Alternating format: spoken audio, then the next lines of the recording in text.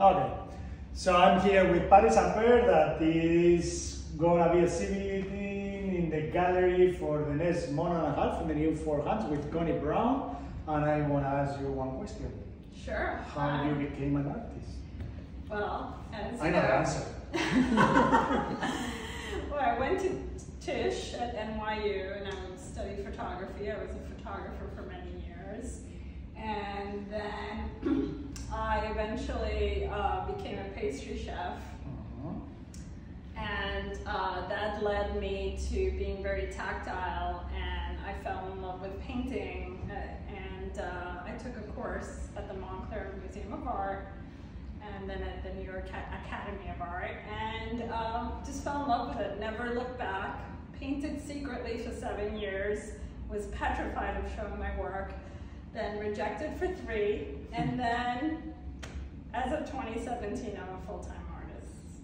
Well, and you avoid reggae and photography Oh, yeah. and a lot of more things, but maybe Yeah. in another In another video. interview, we could talk about my five lives. Yeah. So let me ask you, what is the people going to expect uh, coming into this exhibition from your work? Yeah, so this is very different for me. I've been working on wood panels for like over 10 years, and now I'm going back to linen.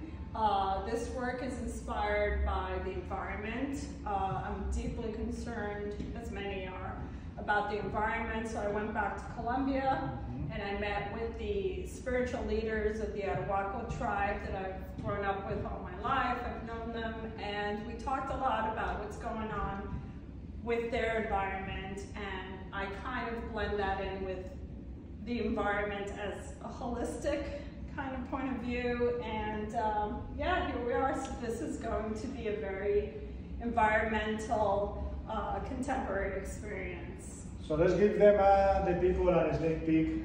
So tell me a little bit about this one. Yeah, so these are a pair. One of it's one of them is steep tide and the other one is neap tide. So basically we have two tides uh, per day, a high tide and